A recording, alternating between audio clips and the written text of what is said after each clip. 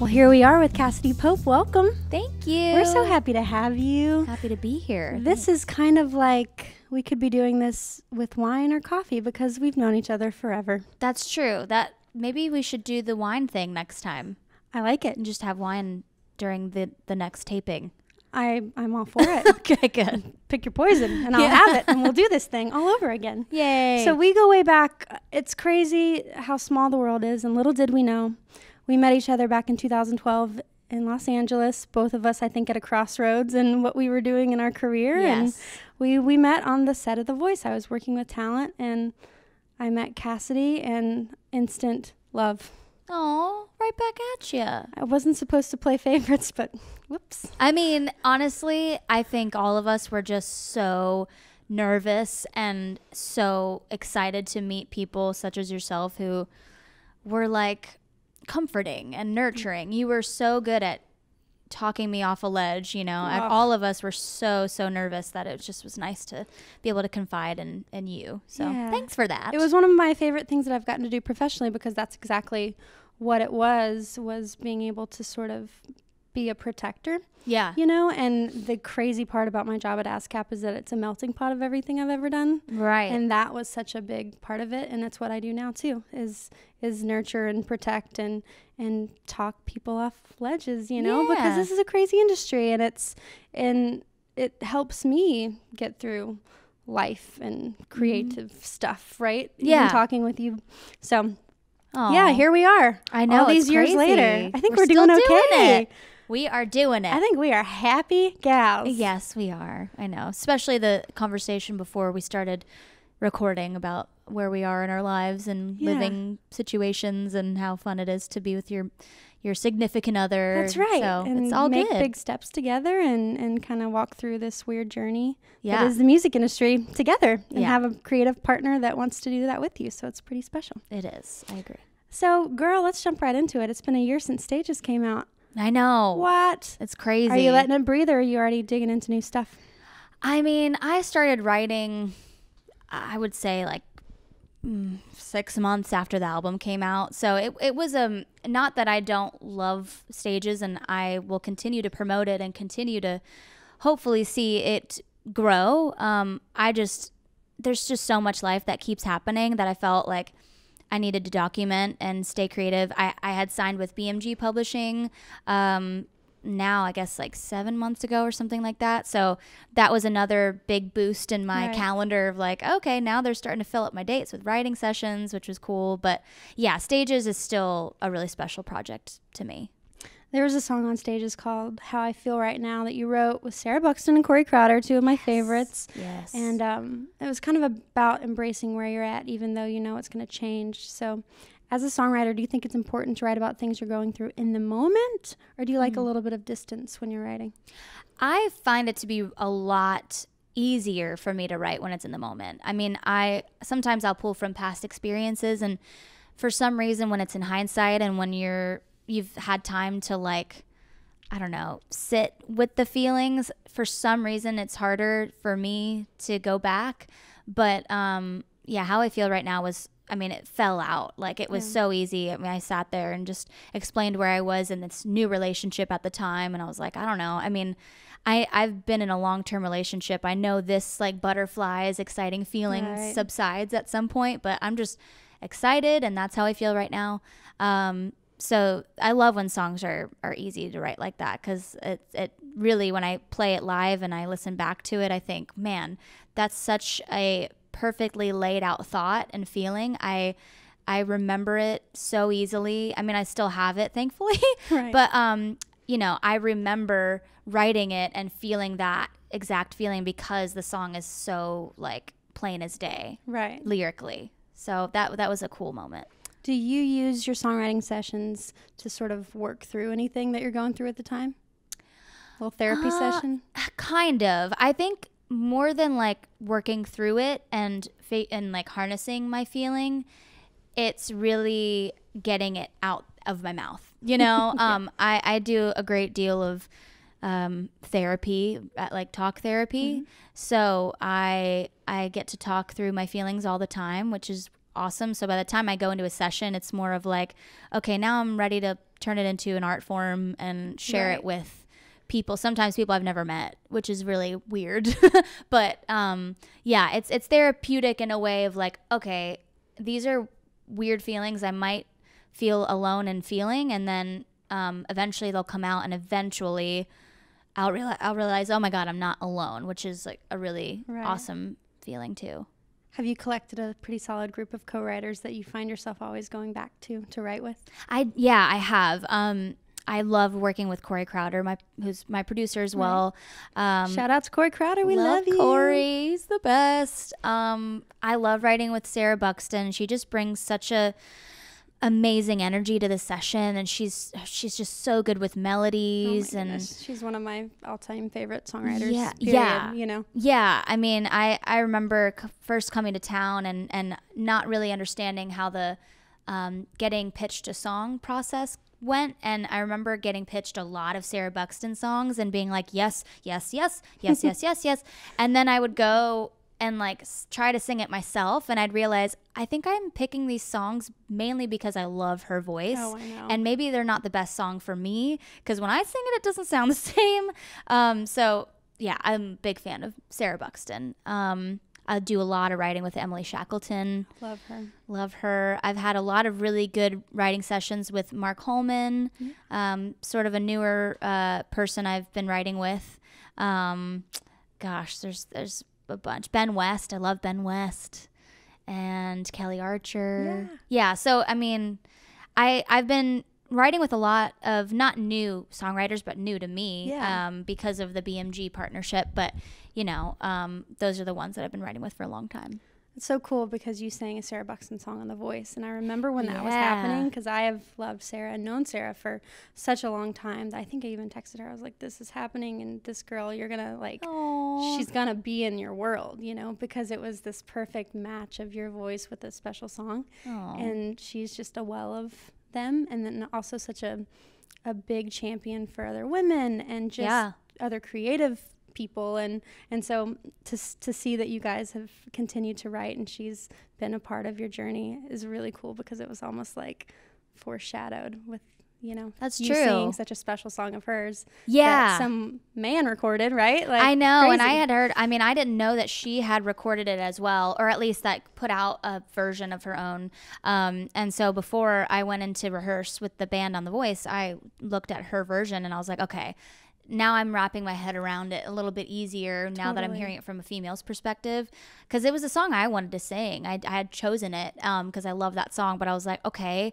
I've just chosen the song that's not particularly voicey. Right. How am I going to make it that? And so she helped me with her video and just reworking it in general was really fun. But um, I just texted her the other day because I, um, my manager and I were talking about how like it's sort of a lost art for artists to just text writers and be like, hey, if you have songs you've written that you love, um, that you think would be a good uh, fit for me, feel free to send them.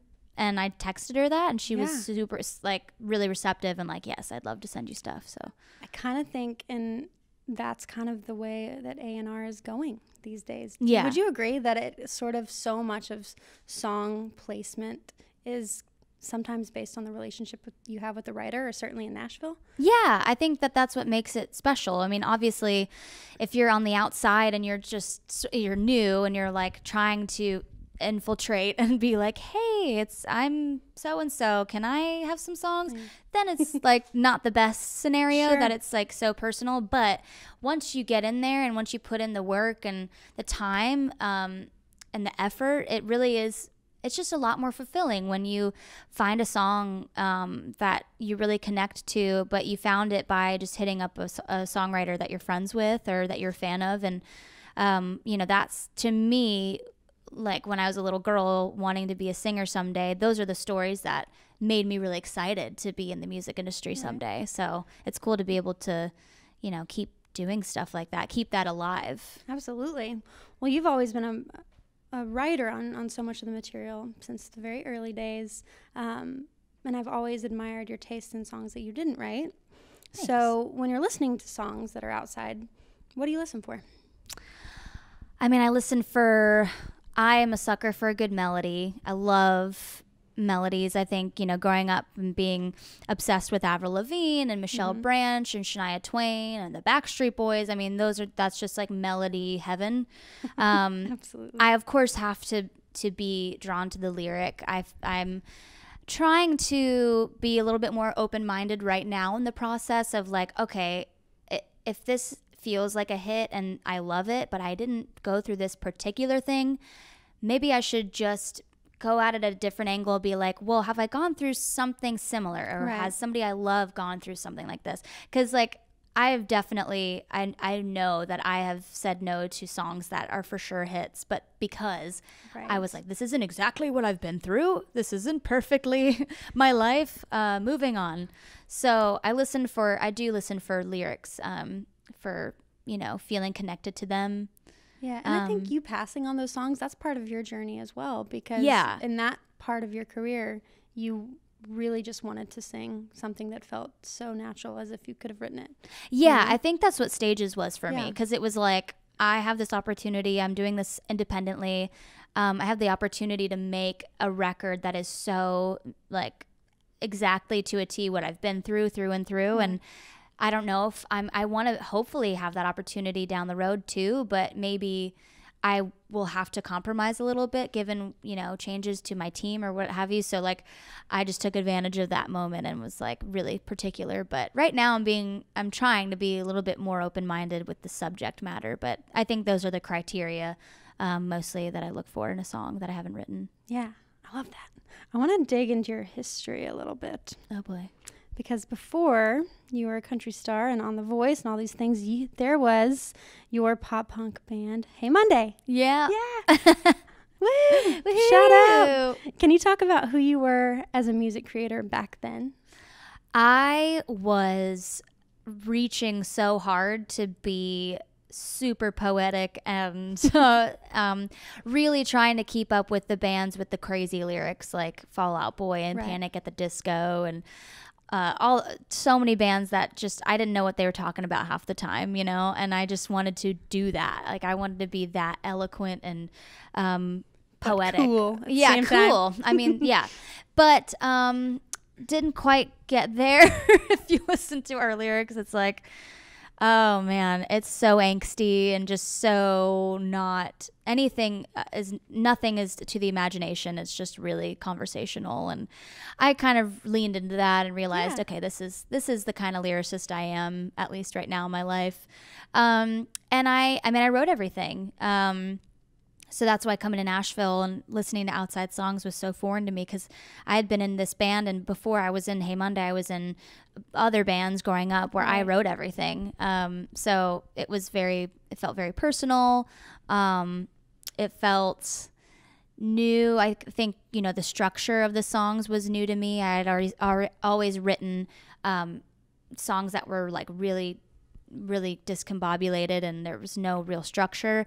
And then once I was signed to Columbia Records with Hey Monday, I started to work with bigger producers who sort of knew how to lay out a song. And I felt like the songs took on more of like a structure. Right. Yeah. Is that something that you took with you when you started writing for your solo stuff? Definitely. Yeah. I mean, I, I, you know, everybody has different lingos. Like, I call, you know, the first thing in a song is the first verse, and then you go into the pre chorus and then the chorus, and, and everybody has different lingos. So there was a few times coming here to town where people had different words for different sections, and I was really confused. But for the most part, I realized, oh, that they're just using different words. They they we're on the same page as far as the flow of the song. So that helped for sure, knowing that distinction. always what I've, something that I've always loved about you is how you're obviously there's probably a lot about your early career that you're like man I don't really identify with that a lot. No, yeah, but you're always very um, like gracious with yourself and like accepting that that was this major part of your journey and got you here. And I Yeah. love that. I think that's important for people that are create just anyone who's a creator whether you're writing a book or songs or whatever to be forgiving of your early self as you're kind of transitioning and learning and you've always done a really good job of that Thanks. I mean, I definitely.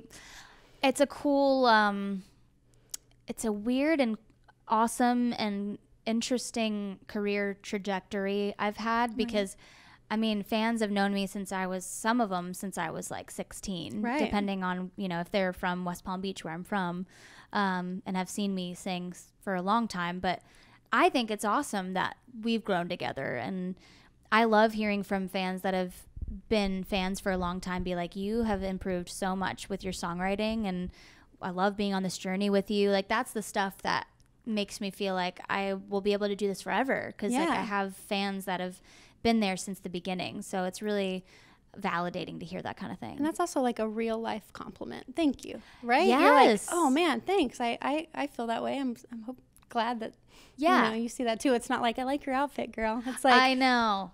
I You know, it's really digging Which is there. awesome to hear as well. I'm not going to lie. but your hair looks so cute, girl. yeah, and you've gotten a, better at songwriting. And your lyrics I'll are great. it. Thank Yes, balance. It's all about balance. Balance, yeah. Um, so you guys, Hey Monday, just recently had a reunion show in November. What was it like performing all those Hey Monday songs with your bandmates after so long? It was crazy. Um, So was it like a trip? was such a trip because I was like, you know, singing these old songs.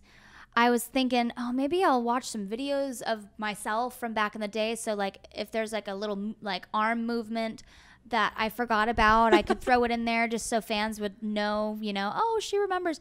And I didn't, I didn't do that. But then getting you have up a lot of there, Hand I- movements? I get I realized when I was up there I hadn't prepped at all and I was like I did stuff like very sassy like you know angsty things that I was like oh my god I did that back when I was on tour you know 11 years ago so um, it was sort of a weird like muscle memory thing but um, it was a trip because we had these fans a lot of them I you know recognized um, and a lot of them I had never seen before that were singing every single word at the top of their lungs. We sold out Exit In here in town. And I'm looking at, you know, my left and right at the guys I played in that band with and toured the world with. And they don't look like they've even aged a day. So it's just, it was like very trippy for me. Um, and it was really fun because we had a bunch of friends come in that night as well. A lot from out of town came um, who were were or still are singers in bands that we have played with in the past and they popped up to sing a song or two from their bands or old bands so it was just a really like i don't know life-giving night because Yeah. it just it's so fun to be able to tip the hat to the past and to be proud of it and to see all these people in nashville tennessee embracing it. It's just like i never thought i would move to nashville and have a country career but still be able to do some stuff with my old band. Like that that never crossed my mind. So it's pretty fun. Yeah. When you were in that with the band, how did you know when it was time to, to do your own thing? It was a hard decision because we had been signed to Columbia and we had also been signed as with a joint venture with Decaydance Records, which um, is Pete Wentz's label from Fallout Boy, and we had gone on tour and we had always had a tour like a year out booked. We were like busy. And then when we started to not get tours and we started to the label started to ask me if I wanted to go solo, which is never a good sign. um, and then our A and R left the label. We got a new label president. It just didn't feel right anymore. And um, you know, we were we were kids at that point. We had had a lot of ba- inner band turmoil. No, no more you know juicy than the normal like arguments and you know disagreements on creative direction and all that stuff. And so I just felt like you know what? I'm at that point. I was 20. I was like, or I was about to turn 21, and I was like, I'm 21. I need to see what else is out there. I think there's something more for me. Um, and it was a hard conversation to have, but um, thankfully the guys understood, and I went off to LA. Um, pursued a solo thing that was really confusing because it was sort of pop, but sort of country, but sort of rock, and it was not in a way where it's it was cool. It was like the production was really weird. Um, and I tried to do a little solo acoustic tour where I remember the hardest show I think I've ever played was in Bakersfield, and it was like five people came, and it was just really um, hard to go from being in a band where we were touring the world and had all these fans to now, you know, I'm doing Right. this, and I started to be like, why did I make this decision? Um, fast forward probably six to seven months probably when the voice Right. called and asked if I would audition. So it was it was a wild ride It leaving the band. I was like, whoops, did I make a mistake? Fortunately, I think it all kind of came together fairly quickly. Certainly by Los Angeles standards. yeah, you're right. You're right. I mean, I was being so I was being really hard on myself by like, oh, this is taking so long because um we reached a certain level and when you sort of go back to square one, it, it's it's sort of like confusing. It takes you a minute to be like, okay, this is just a temporary thing, but um, it was hard. I mean, people who really were the reason I moved to LA, who promised me a lot of things, didn't return my calls, and Right. I got to LA with just nobody to help me other than my roommate, who did help me a lot. But um, you know, A and R wise, I had somebody who just totally ghosted me. So it was not a good uh, introduction to Right. LA to the solo career. Sure. You know. But no doubt that that time that you spent sort of figuring out on your own and those little shows that you'll never forget because they were such a little, like a monumental letdown, right? Oh, For- yeah. For, someone to see five people when you're used to seeing 1000s Mm-hmm. to sort of mentally and creatively reset Mm-hmm. before you went onto The Voice, that probably it changed your perspective completely because you you had done that work, you know? Yeah, yeah. It felt like um, if I had gone on The Voice, because they actually did ask me to come on the second season, but I was still in the band and I was I just wasn't ready. Um, I felt like, well, I never expected myself to do a show like The Voice because Right. um, I was viewed it as eas the easy way out, which Sure.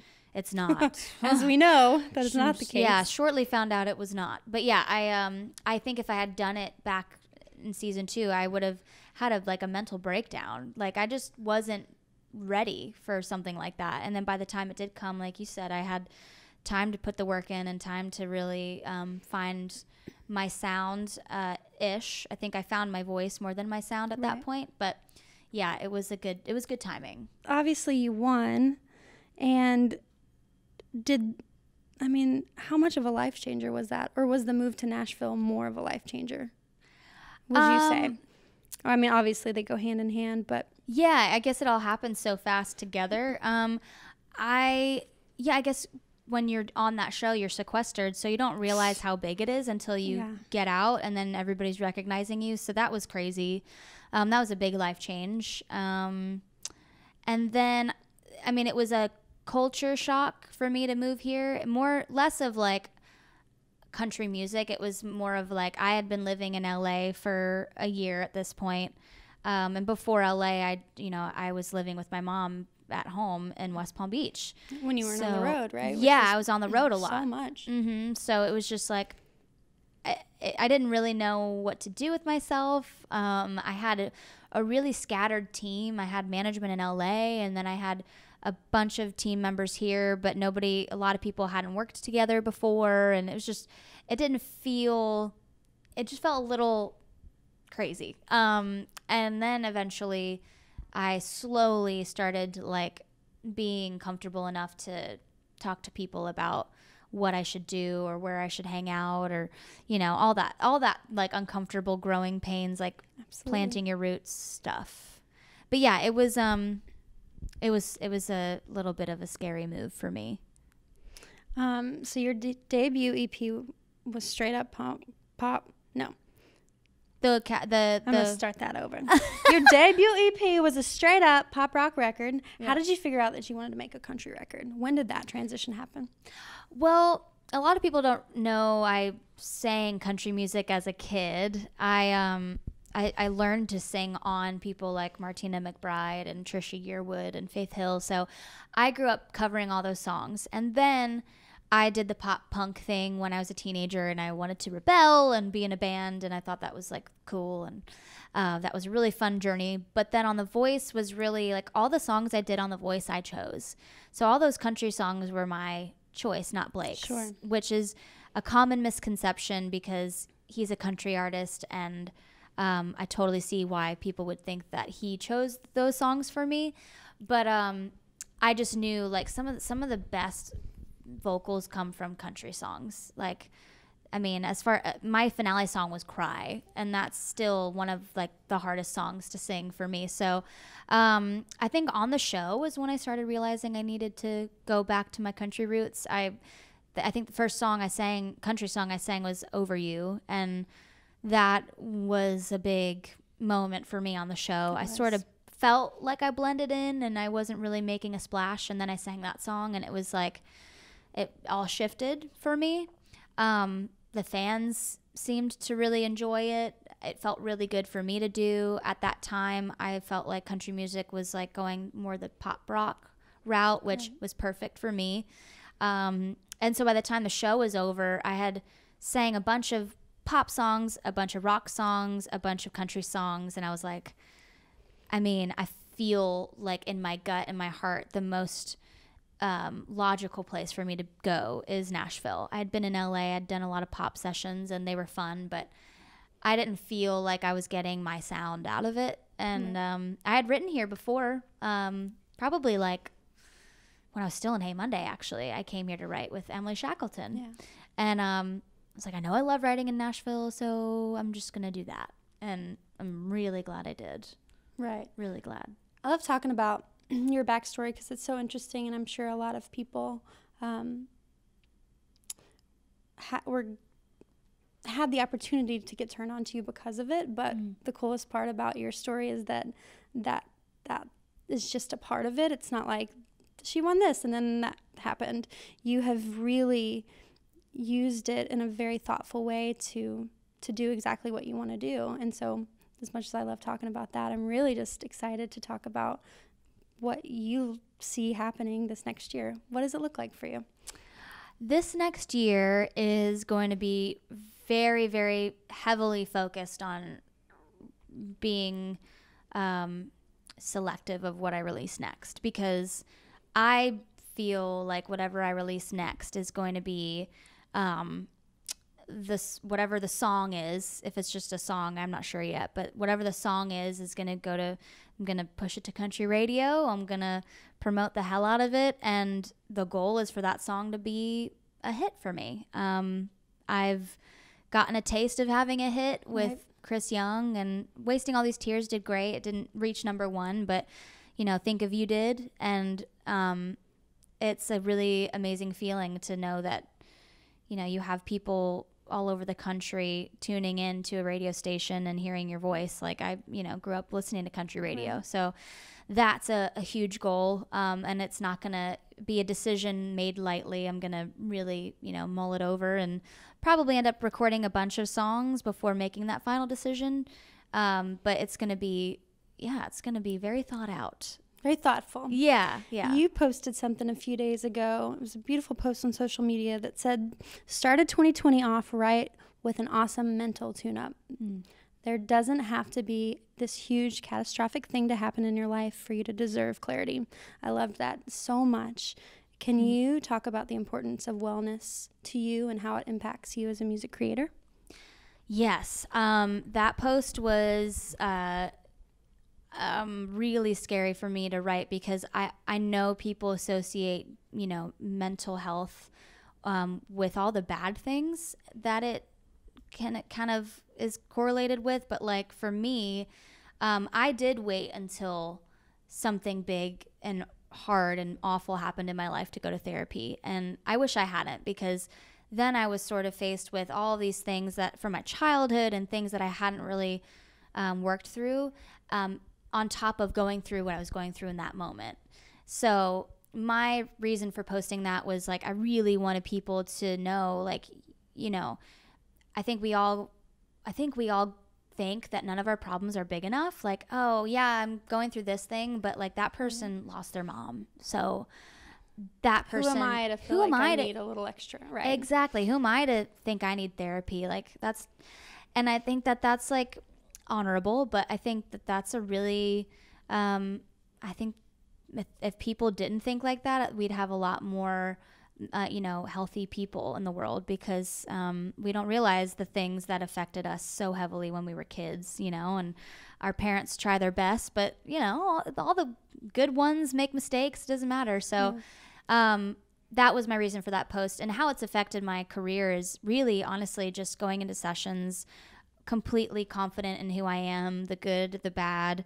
Um, and I and I know what my stre- strengths are, and I can speak to those in a, a, way that doesn't feel like I'm being cocky now. Absolutely. Um, I, a lot of times I'd struggle with like I, would know what I was good at, and I would be afraid to voice those things because I didn't want to come off a certain way. But now it's like, you know what? I think if you just give me a sec to like think about what the melody could be here, then I'll, I'll really be able to like deliver. It's just like a lot of chaos going on right now. That's just an example of like what I can say now without feeling bad. Absolutely. Um, and then also just you know knowing myself makes the songs more authentic and honest and a little bit more intentional. Because before I'd write songs that were, uh, you know, about um, being super brokenhearted and, you know, being like debilitated by it. And then I'd go back and listen to it and be like, oh, but I, I feel like I could have said that in more of a way that was like, what it really looked like. Sure. Yeah, it's uh, but I know at the end of the day I'm going to be okay.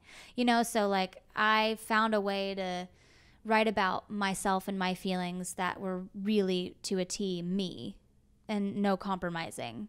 So that that was just like a a product of, you know, getting my shit together and going totally. to therapy and reading books and I went to Onsite, which, which is what I, uh, it's a workshop, um, which is what I posted about. And it was just a six day retreat, no phone. It's like a experiential therapy thing with like a small group. And it was amazing it was hard, but it was amazing. Yeah. So that that was just really an encouraging process and I wanted to tell people about it. Right. Well, I think that especially with social media and how much people are on it and sharing everything too much, yeah, you know, all of that. Yeah. The tide is turning a little bit when we're talking about wellness and mental health and it's becoming more open yeah. and more of a conversation and less of a, a thing that is hidden away. Yeah. Which I think is is is going to help so many people. I hope right? so. Just the I honesty mean, of it. Yeah. Um, ASCAP just launched a wellness initiative because we found out that so many of our members they were saying this is something that's really important to us. So mm. how can you be a supporter of that? And so we are launching all kinds of programs to support creative people because it is that's so amazing. important to have outlets that are creative but also constructive and helpful yeah. for you mentally not just creatively right? Because they go they one feeds the other. Oh yeah it so does. just yeah. talking about it more i think is helpful and and um that's awesome. I'm yeah, glad I, I love that, that. you put that out there because it's it's a special thing to share and people want to know about you right? And so yeah. being real is a big part of the cool thing about social media when it's done right I know. Yeah, because every, I mean, every so often I catch myself like, I mean, I'm really, fo- I, I'm too focused on social media like right now. I mean, I, when I was done with that retreat and I thought about opening Instagram, I had like this weird pit in my stomach. I was like, oh, I think I have anxiety around social media, and I didn't realize didn't it until it, right.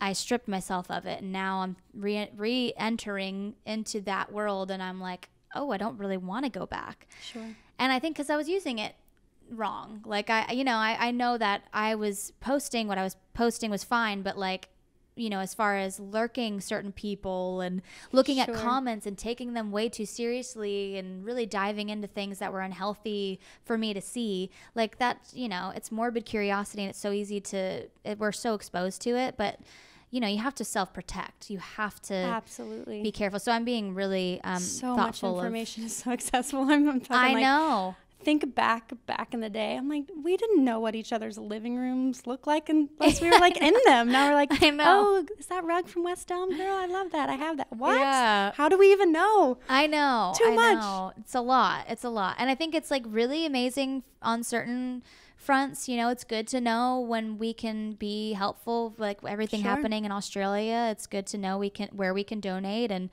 um, spreading the word about that is that kind of thing is great. But there's some things that aren't on social media. Absolutely. So I'm, I think everybody needs to take a sec and be like, okay, where does this not serve me, and how do I have a boundary for myself and social media?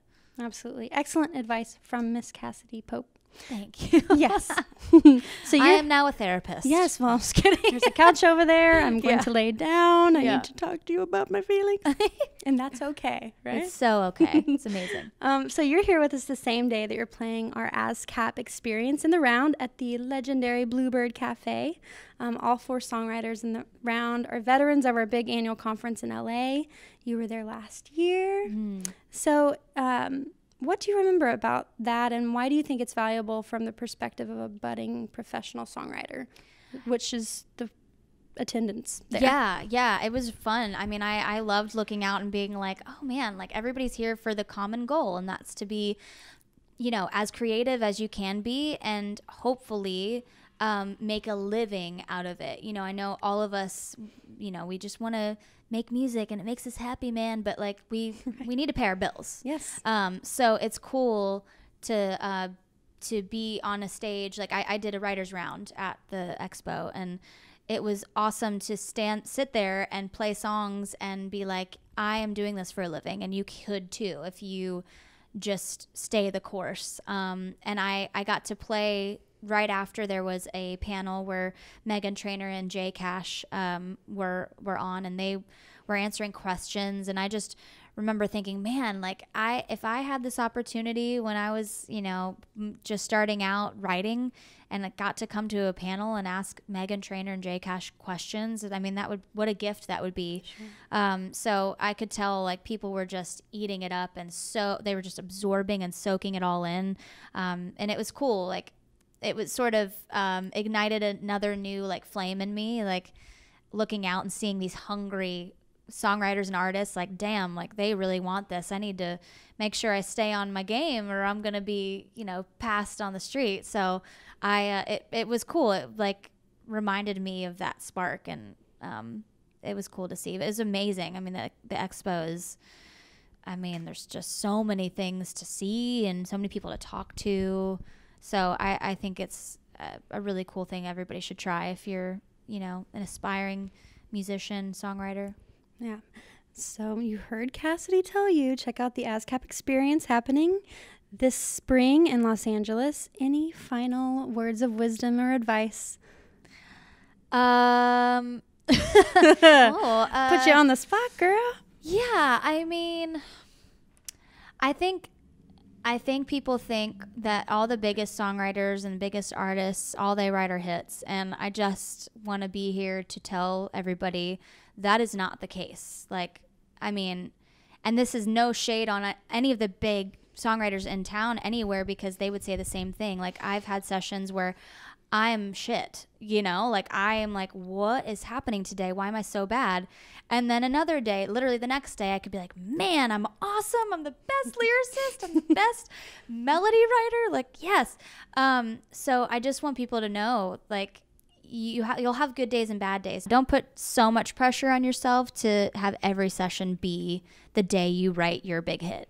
Well, thank you so much for hanging out with us and for all of Thanks, your support for the for the thoughtful programming that we do for songwriters here. You've always been such a big supporter and for being your sweet, honest self all the time. Um, I can say it personally and professionally that you are just one of the the sweetest human beings that I've ever known, but also the the privilege of working with in this really wacky industry. you know, you. so right back at everyone you. could be like Cassadee Pope, Oh, then that'd be a, that'd be a good good wish for 2020 and beyond. No, you're sweet. Yeah, I love you. Stop. I love you too. Thanks for hanging. Thank you. Thanks for having me.